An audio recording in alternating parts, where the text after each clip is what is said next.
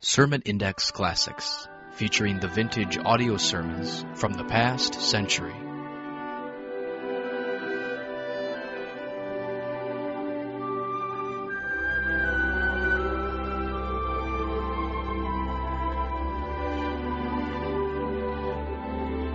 Welcome again to Sermon Index and today's program featuring some of the best sermons preached in the last century.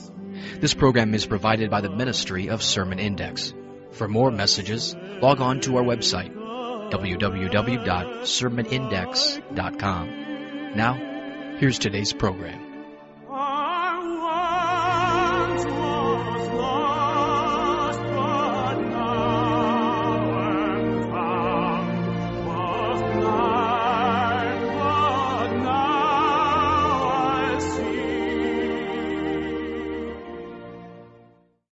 Okay, tonight, if you would, 1 Peter chapter number 4.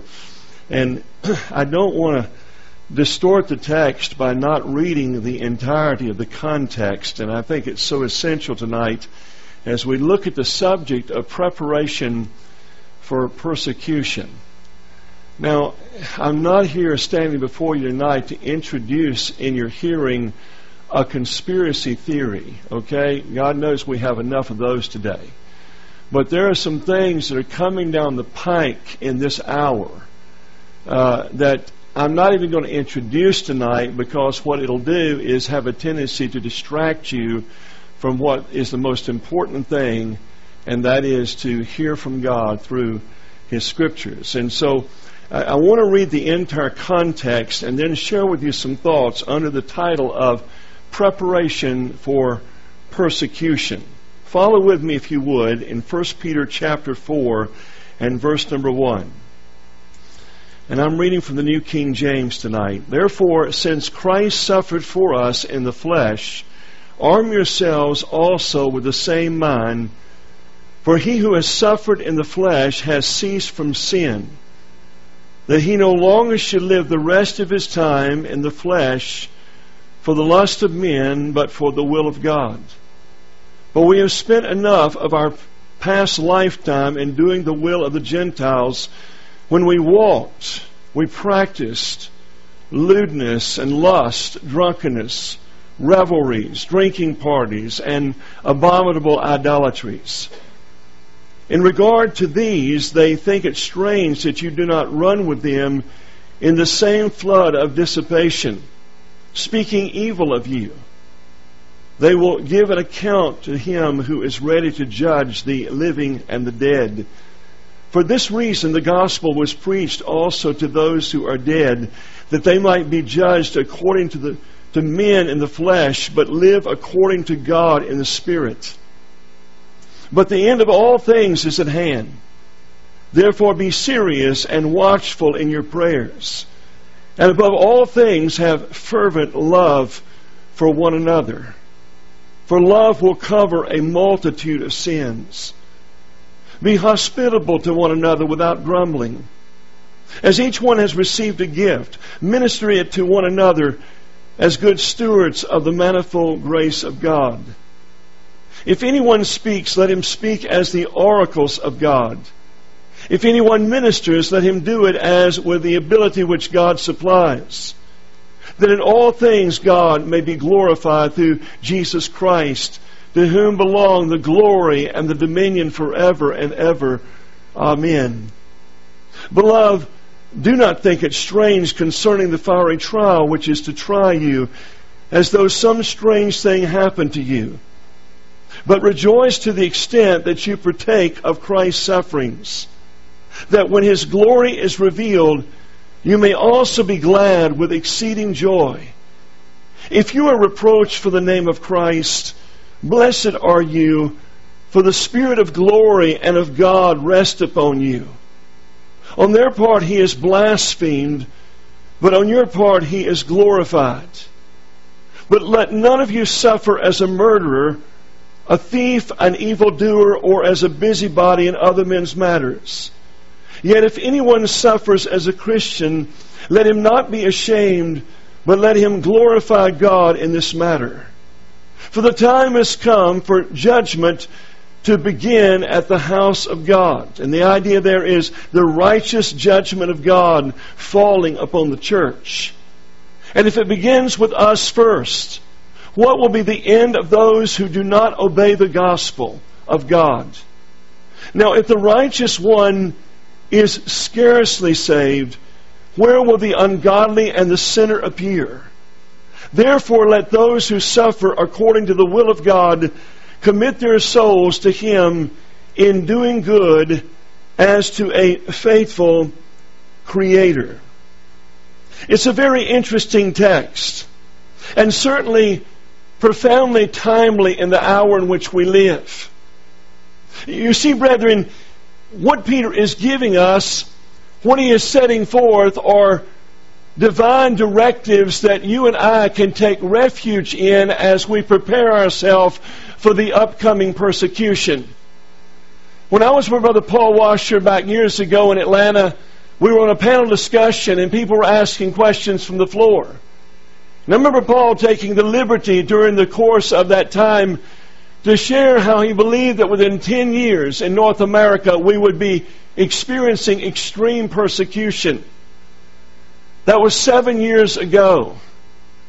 With our coming election, you have no idea what potentially lies before you and before me. It is amazing.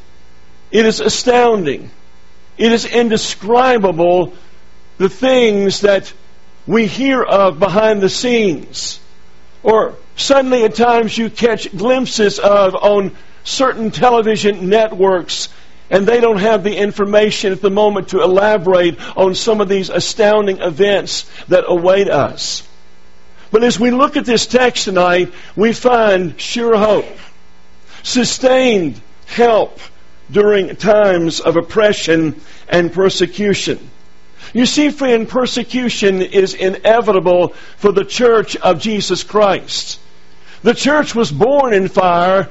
I believe it will be taken out in fire. And see, when I talk about the church these days, by and large, the common church will not suffer. But that's not the true church. That's not the body of Christ. Those that have been redeemed by the blood through the love of the dying lamb, they will suffer persecution. For all they that live godly in Christ Jesus shall experience severe persecution. Now listen carefully for a moment. Here is Peter consoling. And even we find in Acts 14 verse 22 where Paul does the same when he says that we must through much tribulation enter the kingdom of God. What timely words for our generation as the probability once again of persecution increases daily. Recently a man who is a real thinker, he's very full of the wisdom of the Lord. And he keeps abreast of a number of things and filters everything through the light of Scripture. But in his recent post, he said, quote, hmm, Afghan, uh, Afghan troops missing from U.S. training centers. UN troops deployed to U.S. bases. UN saying it may need to protect the United States citizens from U.S. police forces. Continual new evidence of crimes by one of the candidates. Widespread voter registration fraud by one of the political parties. The Fed destabilizing one of the biggest banks in Europe, in the Europe Union.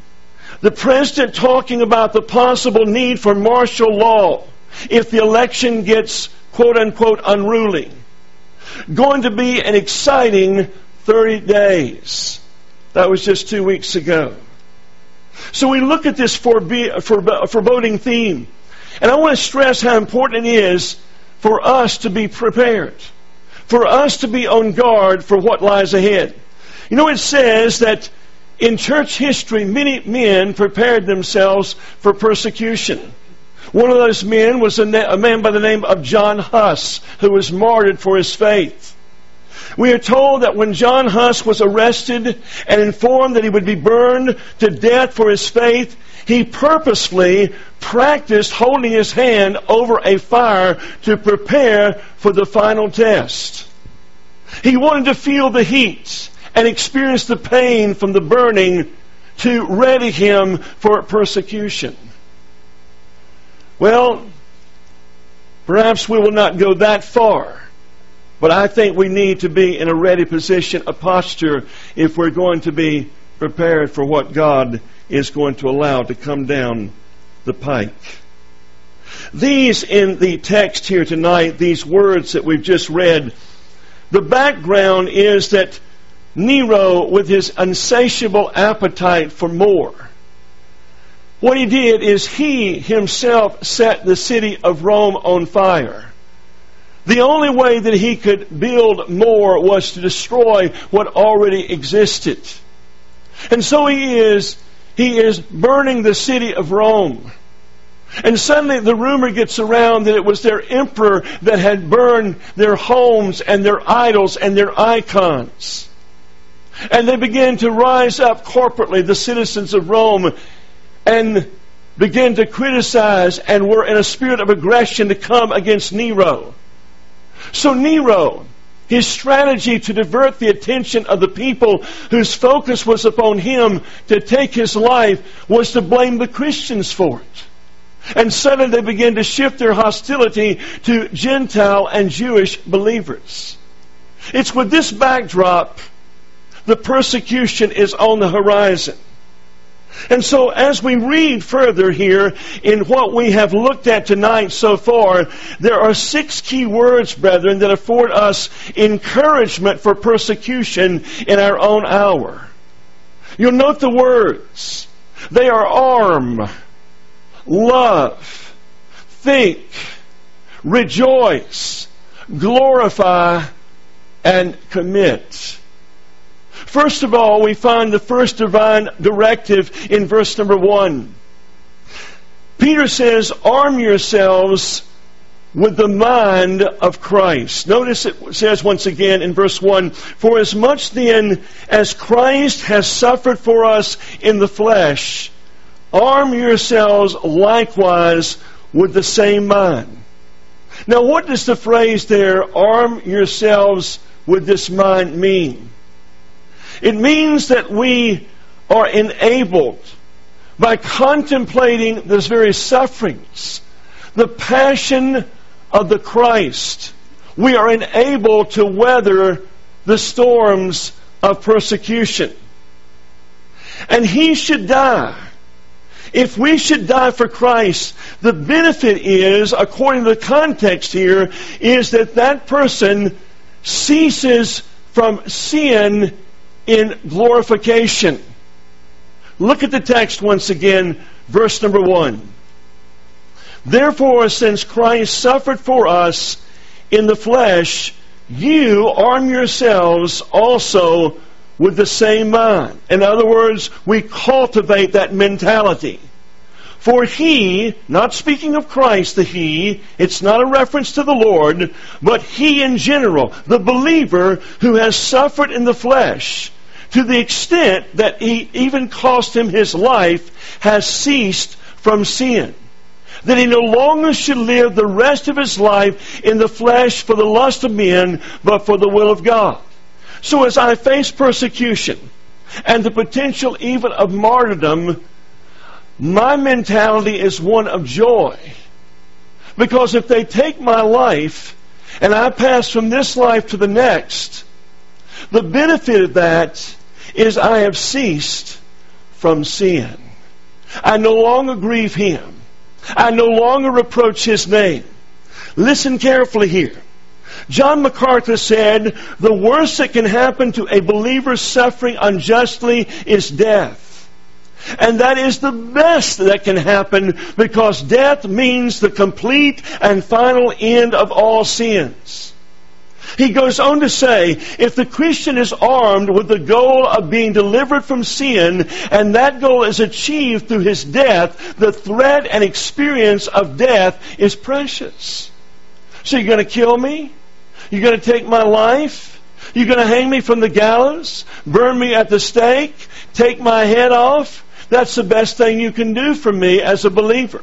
For I will encounter it next in the next world, the living presence of He who gave His life for me. Peter says we are to arm ourselves with this same mind of suffering that Christ endured on our behalf.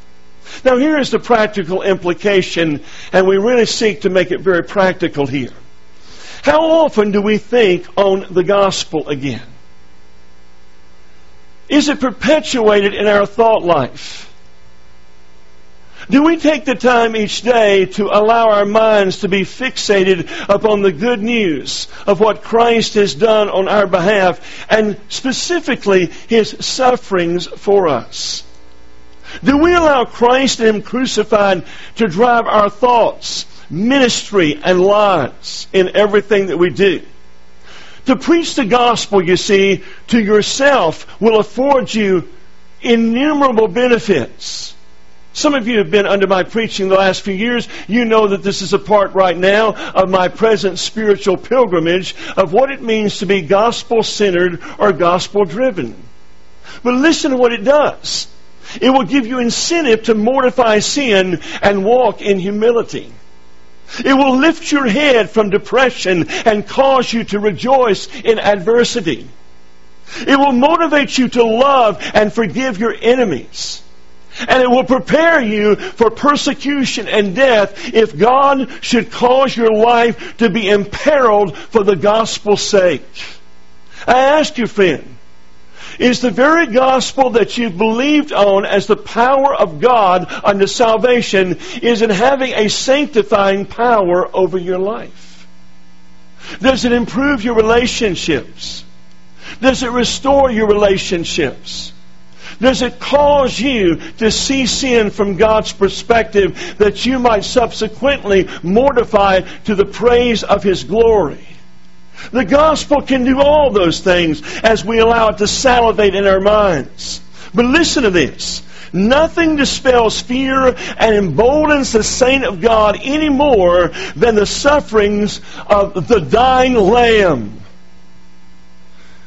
As a handsome communist soldier after his conversion testified, with great reality and empathy, he says, For me, for me he died. For him, for him I live. Think about it, friend. Let it sink down deep into your heart. Let it take hold of you.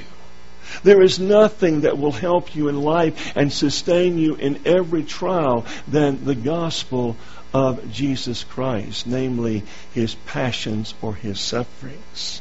And Peter says, let that mind be in you. Arm yourself. We don't fight with physical weapons. Carnal weaponry will never win the day. But we are to take to ourselves this weapon called the gospel that Christ has so beautifully set forth in his example in bearing the cross and bearing our sins upon it. Secondly, notice something else, another key verb here in the text. And that is, you'll notice in verses 8 and 9, he speaks of being sober. Being sober. Look at verses 8 and 9. But the end of all things is at hand. In other words, the persecution is coming. The aggression is on the horizon.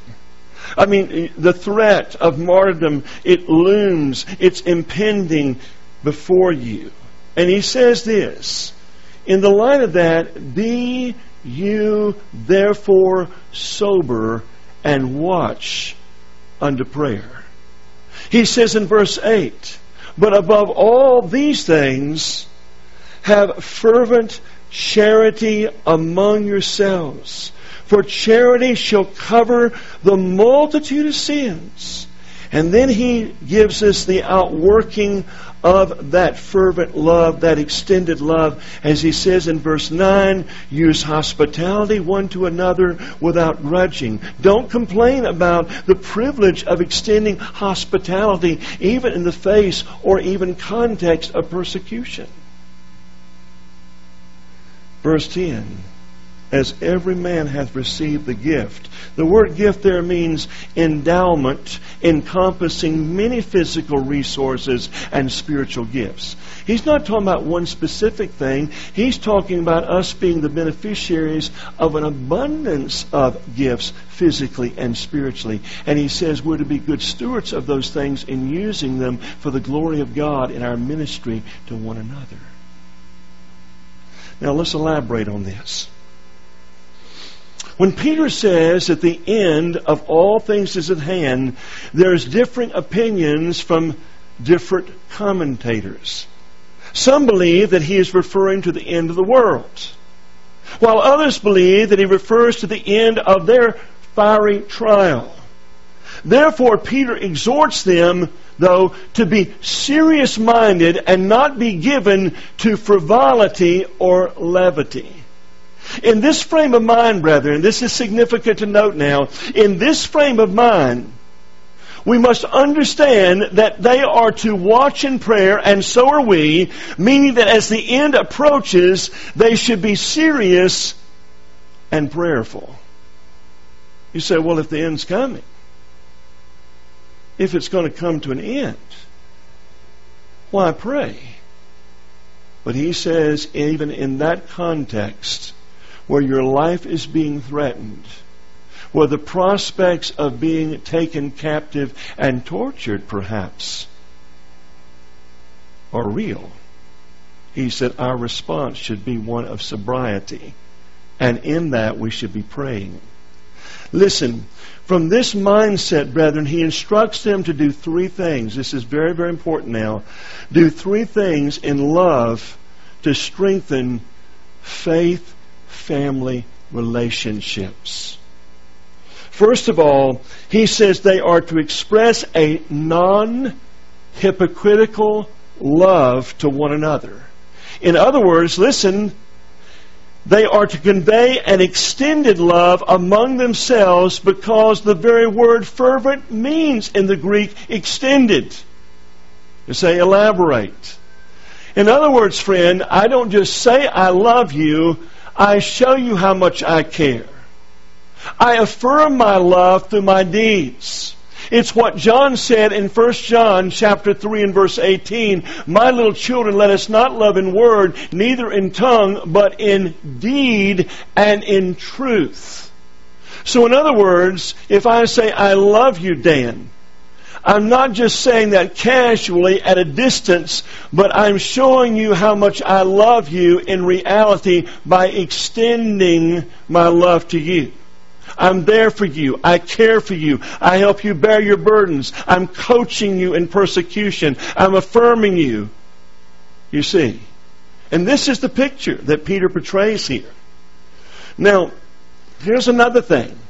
Number two, they are to use hospitality toward each other without complaining. You say, you got to be kidding. We're supposed to demonstrate, convey hospitality toward our brothers and sisters in Christ when we're running for our lives. May I remind you that this is the very thing that God has used to produce such a colossal balm of healing and encouragement, and consequently has used it to reproduce believer after believer in oppressed China?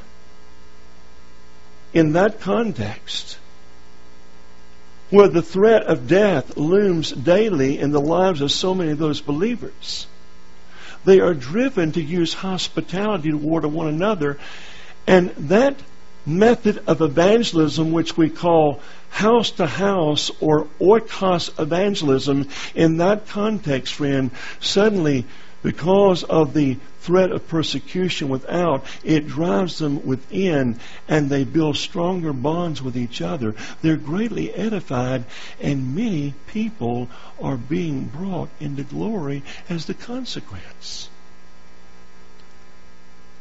Listen. He says on top of it, we shouldn't complain. Now, friend, if we can't use hospitality when things are well, what makes us think that we're going to extend hospitality when our lives are on the line. It's interesting, but the Greek word for hospitality has the idea of pursuit.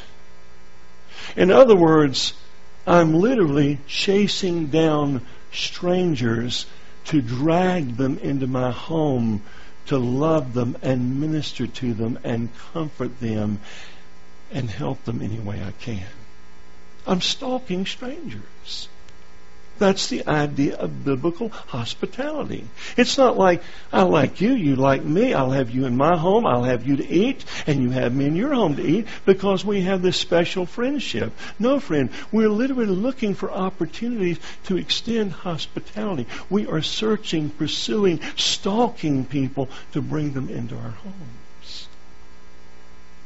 And this is what he says that we're to do. Use hospitality and don't complain about it. Don't gripe and say, well, you know, I, am not sure I can afford it.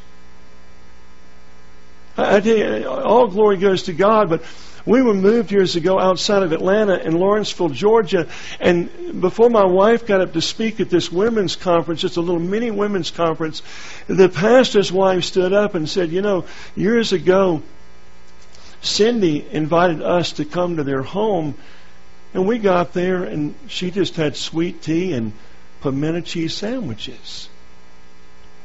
And even though it wasn't very elaborate, the food, she said that really impacted me because nobody had ever asked us to come to their home before. Are we given to hospitality, brethren? And even people, maybe at times that we don't particularly like. This is the thing that God's going to use to give us strengthening and sustaining grace in the face of persecution is learning to build relationships through this grace of hospitality.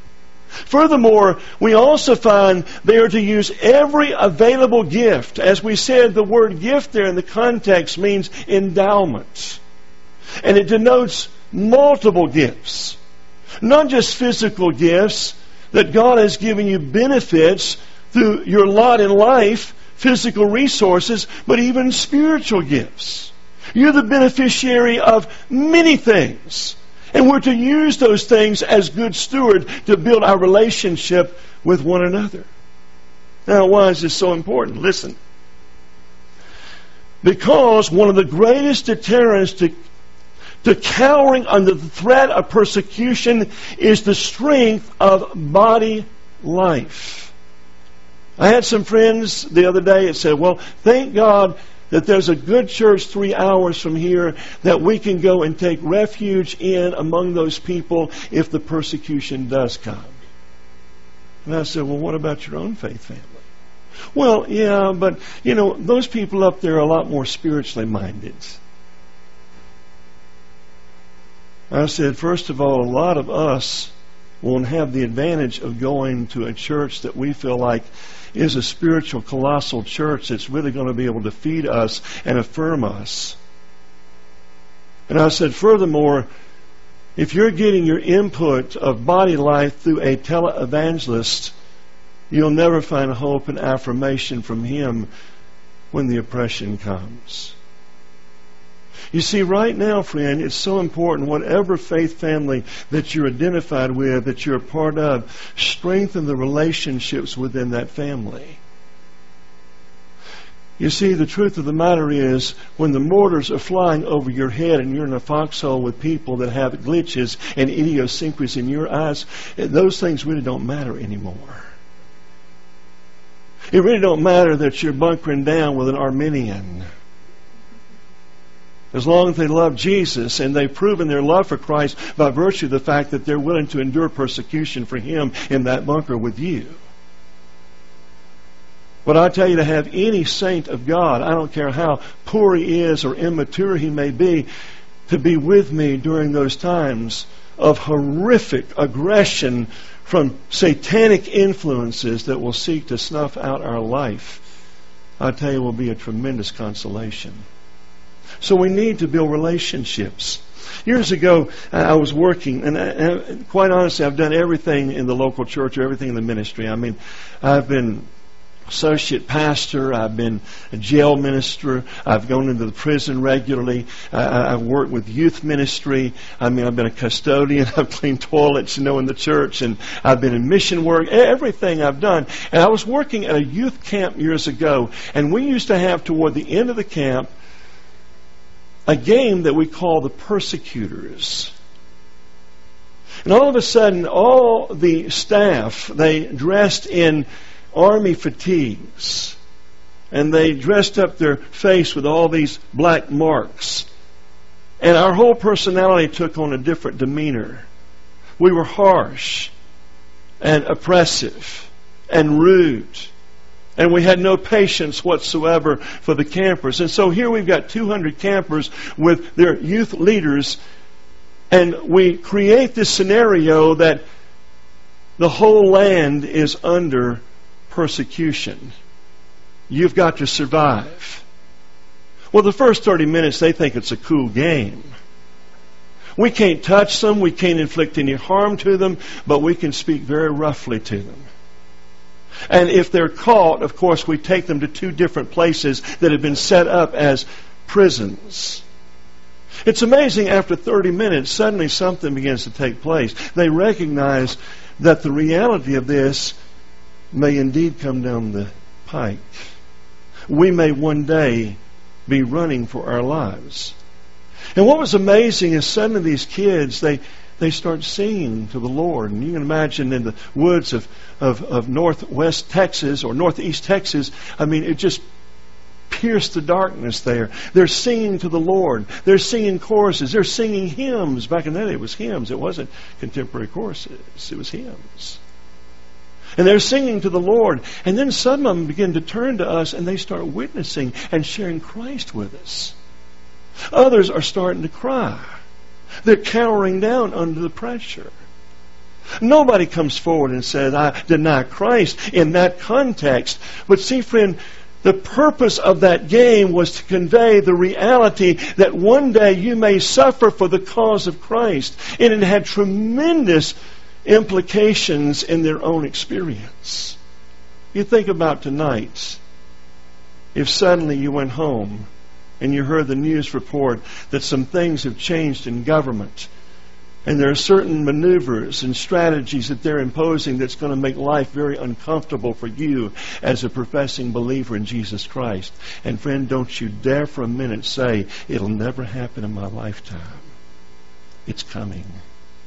It's coming. I'm not a prophet of doom. But I tell you, there is too much, as I see in the scripture now, with what I am hearing on the horizon that confirms the fact that this potential is about to occur.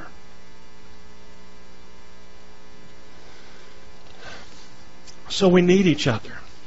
Interestingly, this historical context of Nero's reign of terror, the apostle exhorts the Christians to serve one another.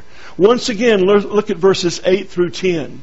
And above all things, have this fervent charity among yourselves, for charity shall cover the multitude of sins. And then he says this use that hospitality toward one another without grudging as every man hath received the gift, even so, watch now, minister the same one to another as good stewards of the manifold grace of God. Listen, body life is of utmost importance. Faith family is essential. Build it. Strengthen relationships. For in so doing, you will draw a grace of courage that will help you withstand the coming storm. Thirdly, look at another verb, if you would, in verse number 12. verse 12. You find here that he exhorts them to think. Think providentially. Notice the words in verse 12. Beloved, think it not strange concerning the fiery trial which is to try you, as some strange thing happened unto you. Now, listen, brothers and sisters, carefully. We must get beyond our feelings and our fears and learn to think. Thank you, Brother Dan. Thank you, brother. Very good. Thank you, brother. We must get beyond our feelings and our fears and learn to think biblically. I don't know what you're going through tonight. I don't know what your struggle is. It may be something domestic. It may be something relational. It may be something financially oriented. But listen, friend, we would solve every problem that we have if we would think biblically. And in this context, it must needs be that we think providentially. The tendency is, is we look upon the circumstances and we say such things as, I never thought it would happen in my lifetime. I never anticipated these things occurring while I was living. You know what we're admitting? This is strange. This is strange. Listen, the phrase some strange thing happened means to fall to chance. We must never think of any tribulation as an accident, brother. Listen, when we hear of new government regulations that will affect the future of our children, born or unborn, we must refuse to see them as happening independently of divine intervention. The Apostle Paul had a providential perspective.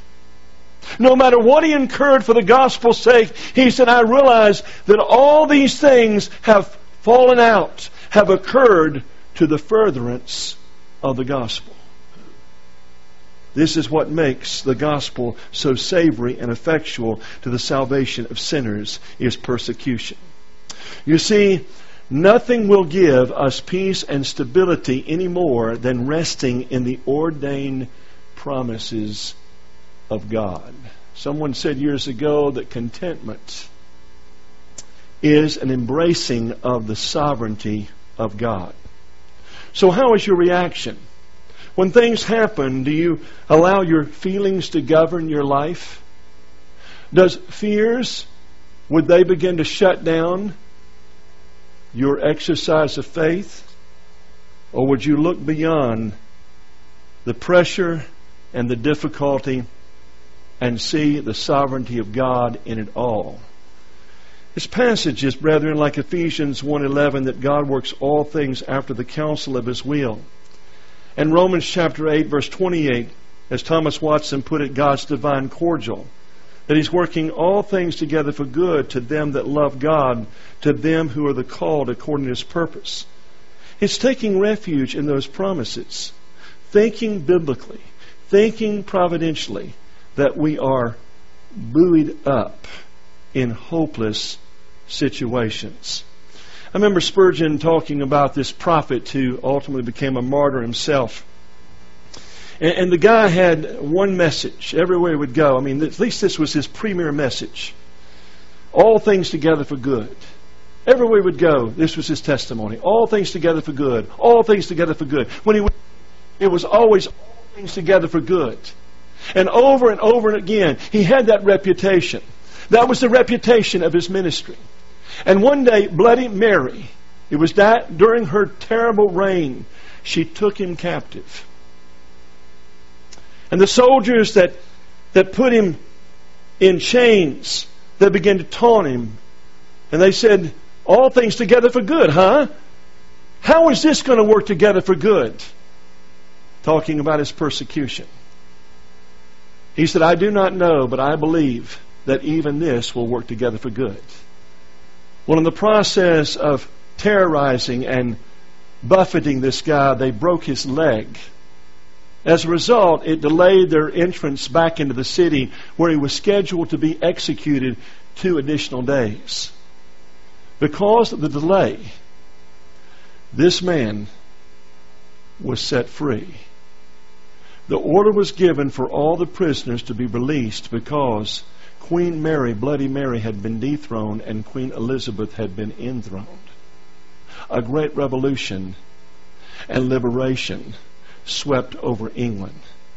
He looked at his tormentors and said, Did I not tell you that all things will work together for good to them that love God, to those who are the called according to his purpose? You see, we must understand the importance of seeing things from a providential perspective. But, brothers and sisters, notice a fourth word here in our text, and that is in verse 13 rejoice. Rejoice.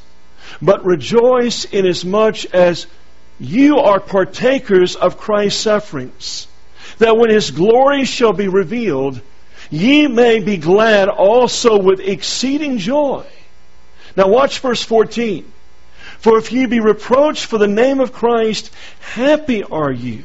For the Spirit of glory, the idea is the presence of God, rest upon you.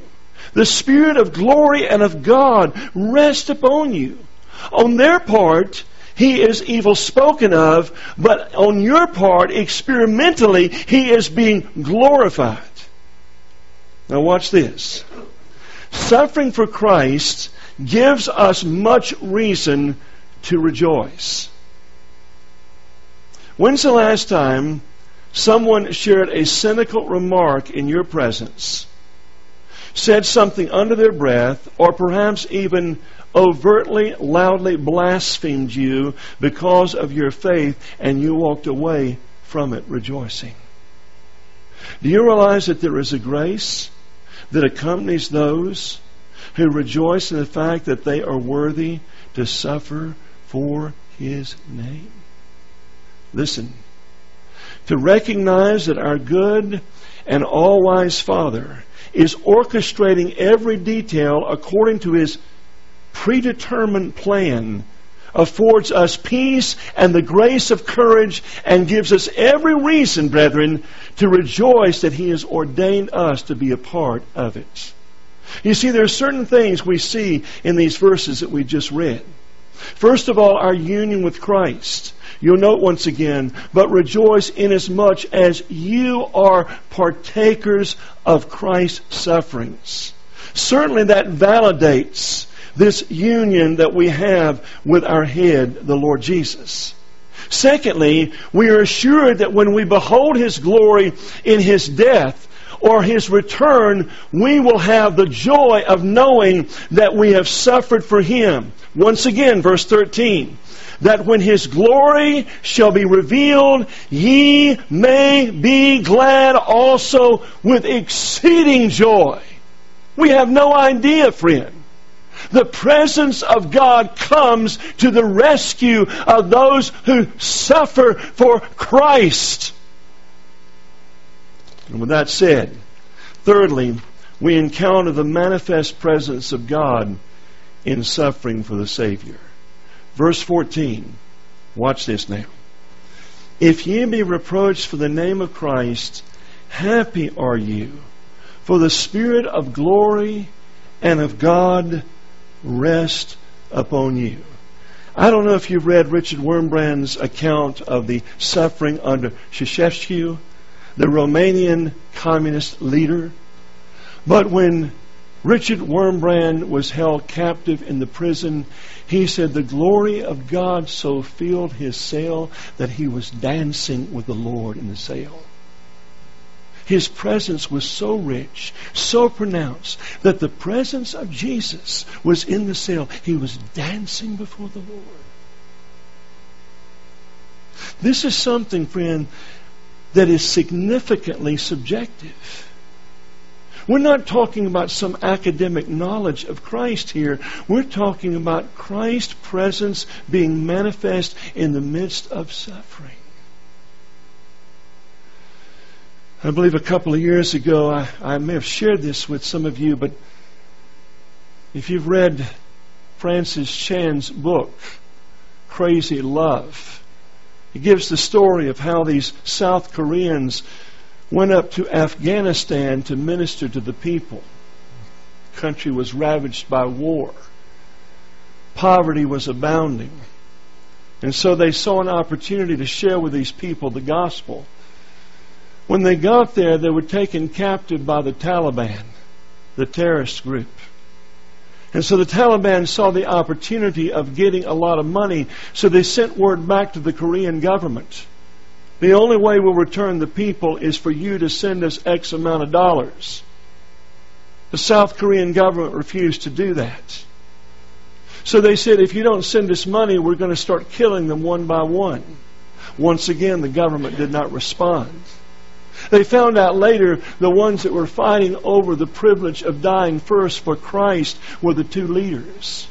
Both of them were martyred for their faith. And when the Taliban found out that nobody was going to yield and no one was going to pay a ransom for the rest of the people, they let all the people go and sent them back to South Korea.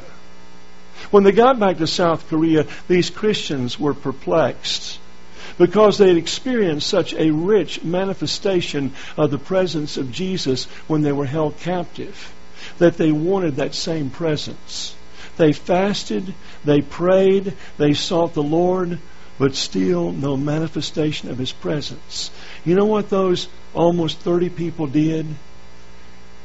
They scrounged up any amount of money they could to get their airlines flights back to Afghanistan because they wanted to be held captive for the cause of Christ again to encounter the presence of the Savior. Now, brothers and sisters, call it mystical if you want, but you can't deny the Word of God. The Spirit of glory and of God rest upon those who suffer with Him.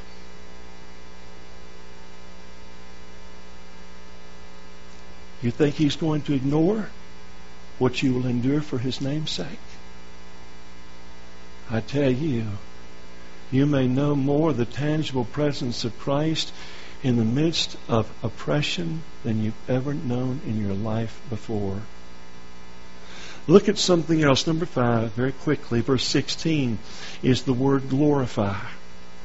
The verb glorify. He says, Yet if any man suffer as a Christian, let him not be ashamed, but let him glorify God on this behalf. Now, the word, friend, means, the word glorified means to put on display by showcasing, embellishing. In other words, it's placed upon a pedestal. So, in the midst of our persecution, our suffering for Christ, we are putting on display our allegiance and devotion to God. And God is magnified. He's glorified in our suffering. First of all, here, we believe that if we suffer for Jesus, we are assured. Here's one reason we should rejoice and glorify Him. We are assured that we belong to Him. The greatest thing that could happen to the church in North America is intense persecution. Because there's some preachers and there's a lot of people in churches that you thought were really devoted to Christ who loved loving Jesus, but they didn't love Jesus. And they're going to fall away. That is the ultimate apostasy, is to fall away when the oppression comes. Persecution, friend, validates our profession if we are reproached by the world for being a believer, then more than likely we're a Christian. Paul is clear on this point in 2 Timothy 2 and verse 12 again. If we suffer, we shall also reign with him. And Jesus said, listen, in Matthew 5 verses 11 and 12, Blessed are you when men shall revile you and persecute you and say all manner of evil against you falsely for my name's sake. He says, Rejoice and be exceeding glad, for great is your reward in heaven, for so persecuted they the prophets which were before you. secondly,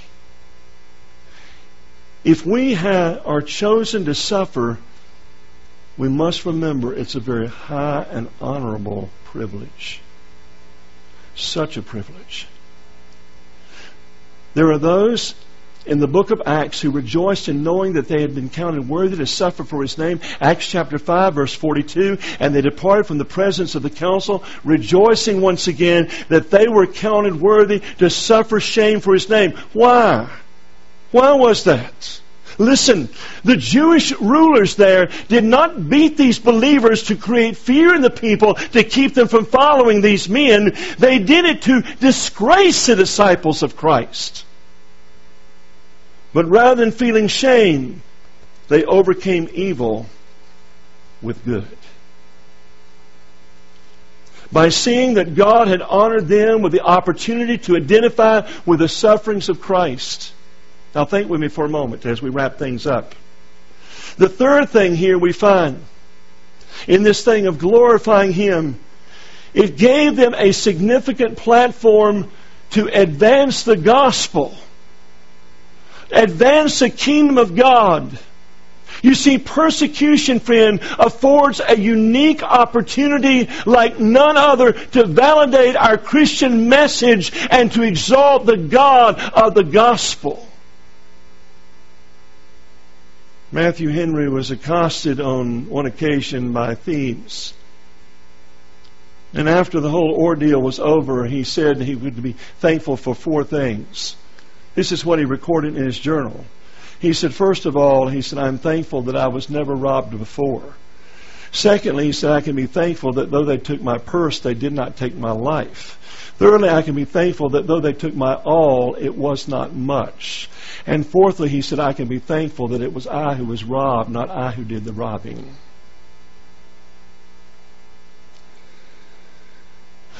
God is magnified in our persecution. But number six, and finally, verse 19, look at this. This is a sixth verb that's very significant in the text for providing a divine directive for preparation. He says, Wherefore, let them that suffer according to the will of God commit. You see that? Commit. The keeping of their souls to Him in well doing as unto a faithful Creator. You're faithful. A faithful Creator. You see, brethren, the word commit here in Psalm 31 and verse 5 means to yield for the keeping. It's important. You say, why should I do that? I'm going to die anyway. I mean, it's inevitable. I mean, why should I do it? Because God requires it. We are to yield for the keeping. To commit the soul is to devote the entire being to God.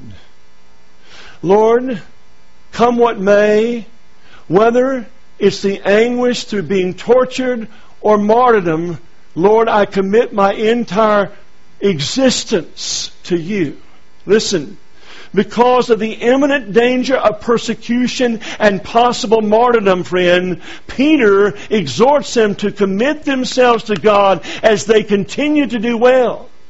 For listen now, for their God has promised that He would be faithful to them even unto death.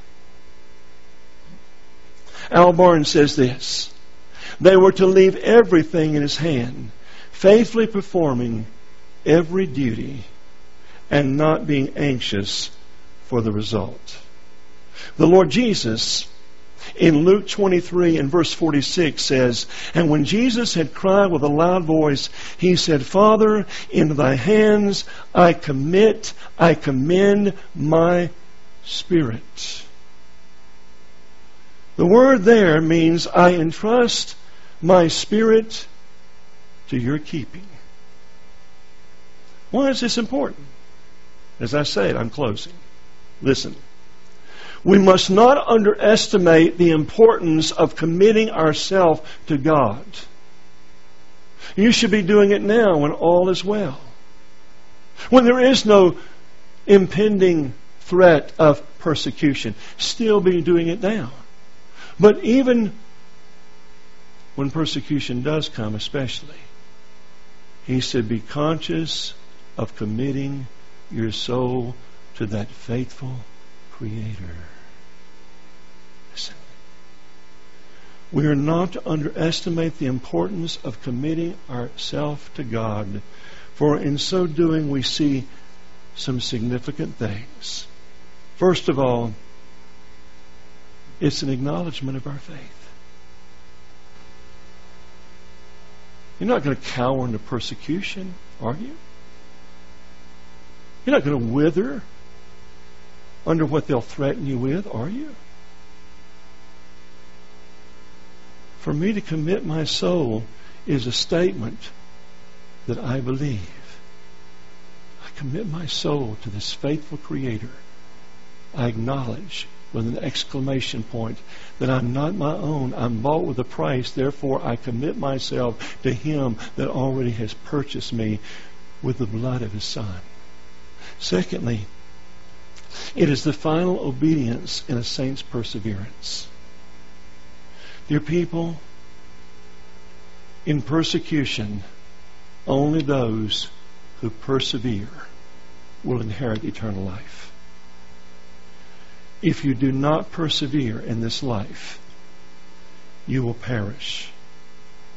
Understand, we're not talking about perfection.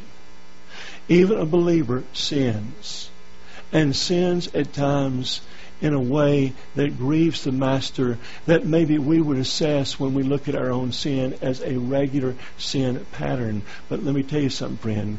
You're troubled about it because you're not your own.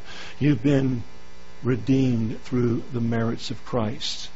But in that, we continue to keep picking ourselves up. The just man falls down seven times. He keeps rising. Many are the afflictions of the righteous, but the Lord God shall deliver them out of all of them. And by virtue of your perseverance, it's an evidence of the fact that you are being kept by the power of God.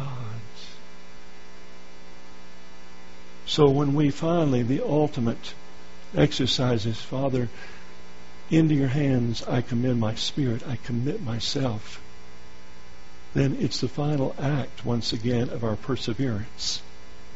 But then this if you do suffer and it results in death, martyrdom, you're not going to die. You're not going to die. For the believer, the world looks at your corpse and says they died. But from God's perspective, it's a triumphant transition into glory. You want to know why? Because Jesus said in John 8 and verse 51, He that keepeth my saying shall never see death. You're not going to encounter death. It's just a transcendent, triumphant transition into glory. So while they're killing you and your life is ebbing away in their eyes, you're committing your soul to a faithful Creator. And guess what, friend? You're not going to really draw a last breath. First thing you know in that transition, there's the Savior. Stephen standing on the right hand of the throne of God. He's there. He's there. What a blessed reality. What an exceeding great and precious promise. Preparing for persecution. It's coming. It's coming. Let's pray together. Our prayer is that you have been blessed and encouraged by this sermon. To download full sermons, go to our website, www.sermonindex.com. You can contact us through the website, and please share a testimony of how this sermon has ministered to you.